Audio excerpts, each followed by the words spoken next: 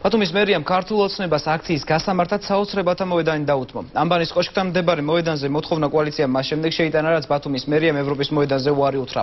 რამდენიმე წუთის წინ დამთავრდა მერიაში საგანგებო ბრიფინგი, რომელსაც მეცხრიარხის ბათუმის ბიუროს რეპორტიორი ნათია როღვა დაესწრო. და ის ახლა პირდაპირ ეთერში ჩაგვერთვება. ნათია, მოგესალმებით და გისმენთ.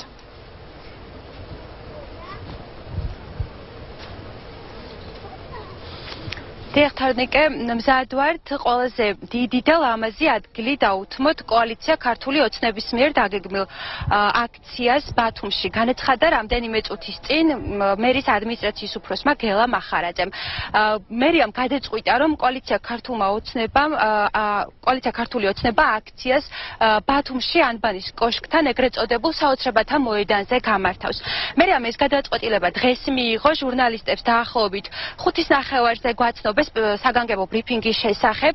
სპეციალურად გამართულ ბრიფინგზე დამატებით კითხვებს მერის ადმინისტრაციის უფროსმა გელა მახარაძემ არ უპასუხა და შესაბამისად ჩვენთვის გაურკვეველი დარჩა ის გარემოება, გუშინ მერის ადმინისტრაციის უფროსი ამბობდა, რომ ყველა სკვერი, ყველა მოედანი იყო დაკავებული და ისინი ვერ მისცემდნენ ოპოზიციური პარტიების მიერ დაგეგმილ ვერ დაუთმობდნენ ოპოზიციური პოლიტიკური პარტიების მიერ დაგეგმილ აქციას ტერიტორიას ბათუმის ცენტრალურ ადგილში.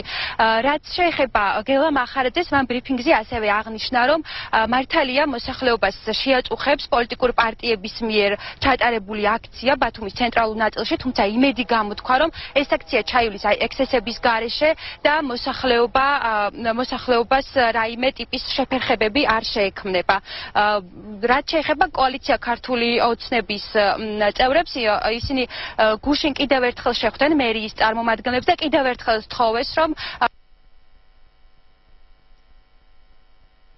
ეს ხო ნათია როყვა, რომელმაც ბათუმის მერიის გადაწყვეტილება გაგვაცნო.